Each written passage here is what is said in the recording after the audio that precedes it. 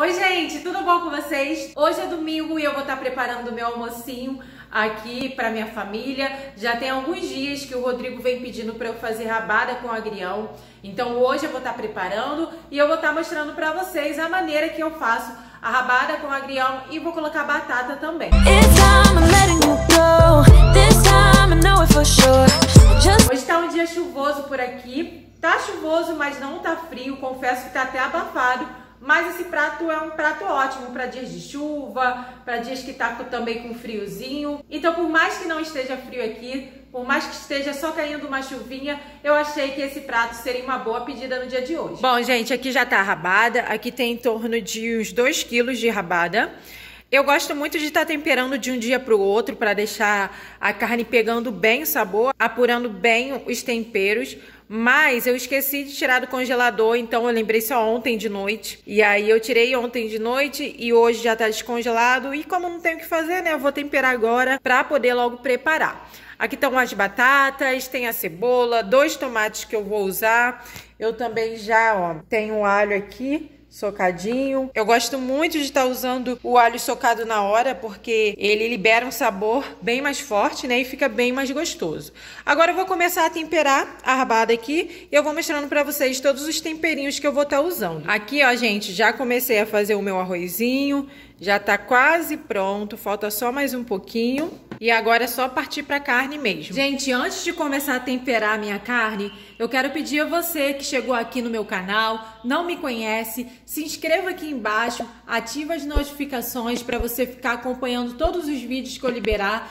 Eu sempre tô liberando receitinha aqui no canal e tô mostrando também meu dia a dia de dona de casa, mãe, rotina real, né? Do dia a dia para poder estar tá incentivando você, para poder estar tá te estimulando e tá trocando também experiências, porque assim como eu mostro meu dia a dia aqui, eu também gosto que vocês compartilhem comigo, me deem dicas, porque aí todo mundo aprende, né? Eu vou começar colocando aqui, ó, um pouquinho de sal, uma colherzinha mesmo um pouco menos do que a metade de uma colher. E aí, gente, eu gosto muito desse temperinho aqui, ó, que é da Quitano, cebola, alho e salsa. Eu vou estar tá colocando um pouco dele. Vou estar tá colocando também um pouco desse tempero baiano. E eu confesso, gente, que eu preciso, eu preciso ver uns potinhos, comprar uns potinhos para eu poder colocar os meus temperos, que eu sempre deixo no saquinho, sempre esqueço de comprar, aí fica assim mesmo. Eu vou estar tá colocando também é, um saquinho desse de carne, tá? E fica a critério, eu sei que muita gente não gosta. Eu gosto de usar, eu acho que dá um sabor especial. Embora a gente saiba que não seja tão saudável, mas eu acho que a gente pode maneirar também no uso, né? Não usar demais, porque a gente sabe que o que faz mal mesmo é usar as coisas em excesso. E agora eu vou colocar um pouco do alho. O que que eu vou fazer, gente? Eu vou misturar agora um pouco desse alho cru aqui na carne e esse restinho que sobrou aqui, eu vou dourar para poder refogar.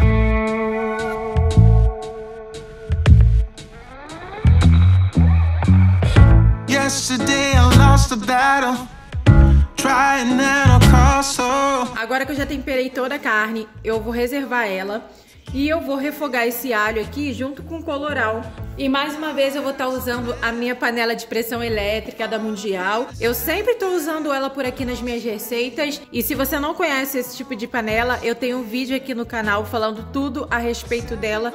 Então eu vou estar tá deixando aqui é, no card aqui em cima. E eu vou estar tá deixando também no final do vídeo, tá? Gente, a carne da rabada, ela é uma carne por si só gordurosa. Então, eu não preciso colocar muita gordura para poder estar tá refogando o alho. Eu vou colocar só um fiozinho mesmo de óleo, porque depois quando eu for refogar a carne, ela por si só vai estar tá liberando a própria gordura. Vou colocar aqui o alho.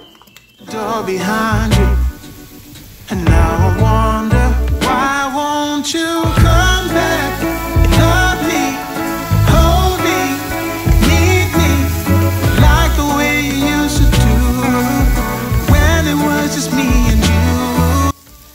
Depois que eu dei uma leve refogada aqui no alho, eu vou acrescentar agora o coloral para poder deixar a carne com mais uma corzinha, né? Agora que tá bem refogadinho, gente, vou estar tá colocando a carne.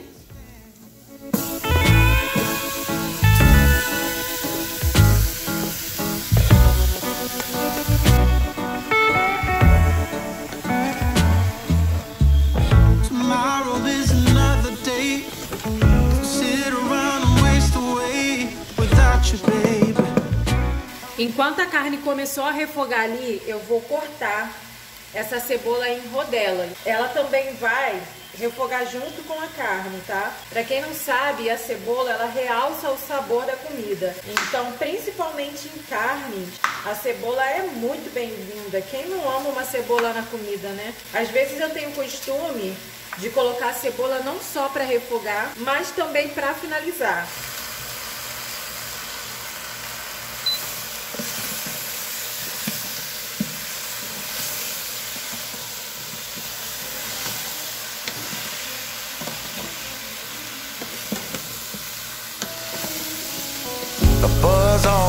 Favorite song is playing in a Broadway bar.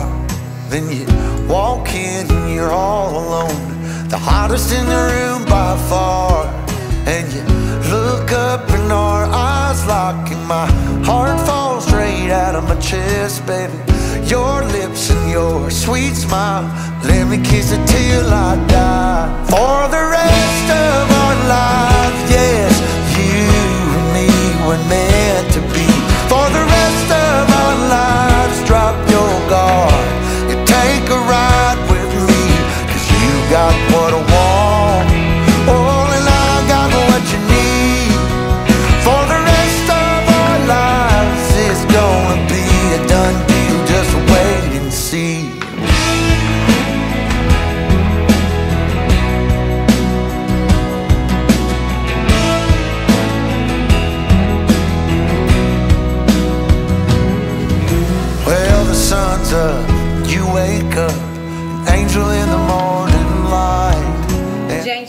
Boa refogada aqui até com os tomates.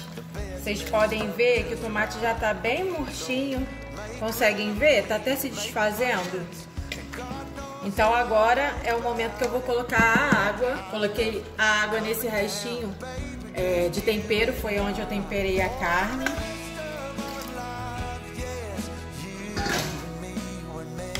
E eu vou deixar essa carne, gente, na pressão por 50 minutos, tá?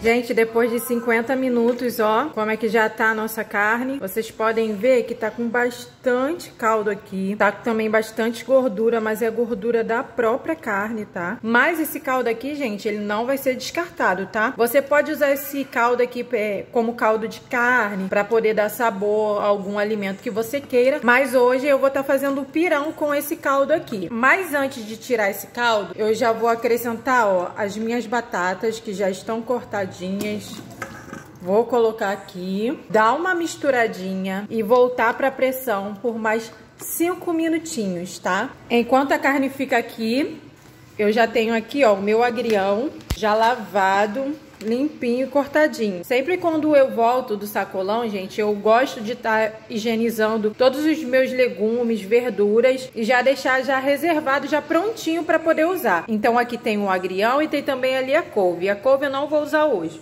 Só vou usar o agrião mesmo. E aí o agrião eu vou colocar ele no final, que eu vou colocar ele só pra dar uma leve murchadinha. Gente, agora sim, cozidinho. Tô tirando aqui a água pra poder colocar aqui na panela pra eu fazer o pirão. E depois só vou finalizar mesmo com o agrião. Talk to me, baby. I've been waiting for a lifetime. Just keep on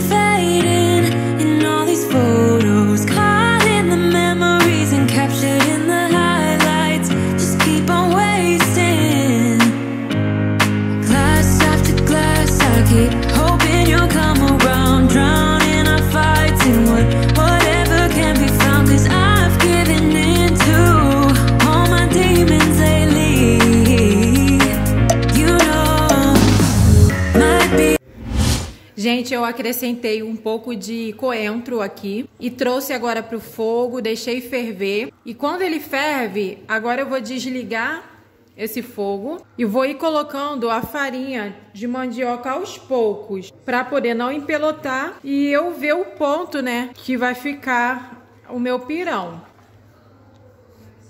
Vou colocando de pouquinho em pouquinho assim, como vocês estão vendo, e vou mexendo.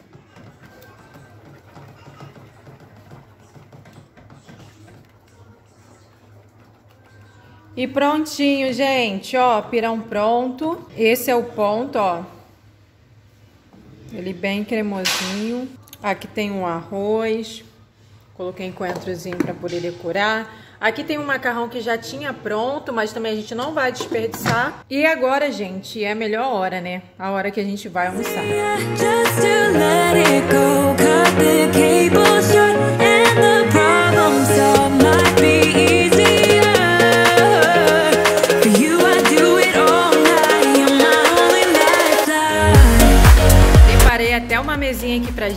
coloquei ali a rabada com agrião, o suquinho. Os pratos, gente, não tem todos iguais, mas vai assim mesmo, não tem problema algum. Sing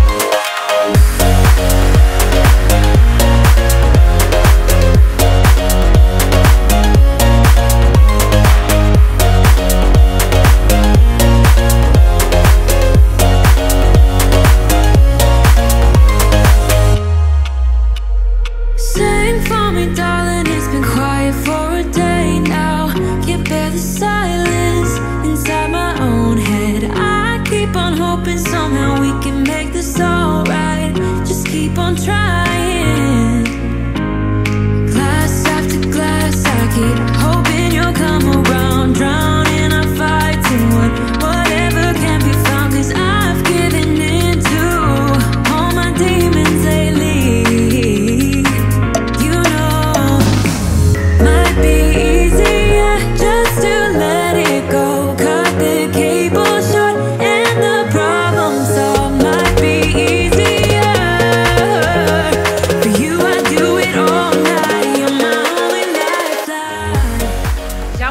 Gente, tava muito gostoso. Se vocês puderem, reproduzam essa receita aí da rabada aí na sua casa.